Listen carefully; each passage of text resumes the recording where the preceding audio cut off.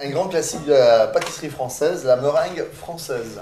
Vous allez voir, c'est super simple, c'est très économique et c'est très bon surtout. On va faire comme ça. Ah, je trouve que c'est très bon. hein. Laurent, c'est très concentré là sur ces blancs d'œufs. Donc on va les monter en neige. Ouais. Mais on met- tranquillement, Est-ce qu'on met sucre non. de suite? Non? Non, On peut, hein, pour le tout le monde en met de plus en plus vite. Ça mousse, ça mousse, ça mousse.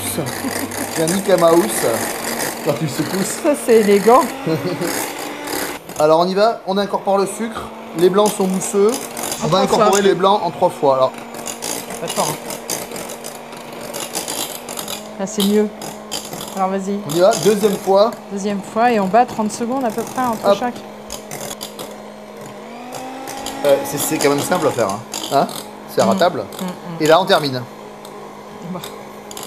Pas mal. Ouais, pas mal. Faut que ça brille. Faut que la meringue elle brille. Et elle est bien ferme. Elle est super ferme. Et tu crois chez le dentiste. C'est comme ça. Alors, montre. Voilà. On voit une meringue, elle est prête quand elle fait le bec d'oiseau. C'est comme ça là.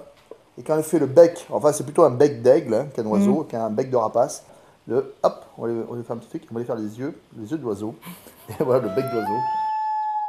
Voilà. Ça, ça prouve que la meringue est nickel nickel. On va mettre la meringue dans la poche à douille avec une petite douille euh, cannelée. C'est plus Ouais, joli. c'est plus joli, c'est plus élégant. Voilà.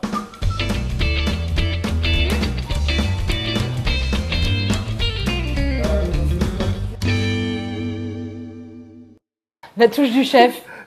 Non, non, c'est simplement. D'accord. Ah ouais. Bah oui, forcément. Et puis après, le, le secret quand même, c'est la cuisson. hein. Voilà.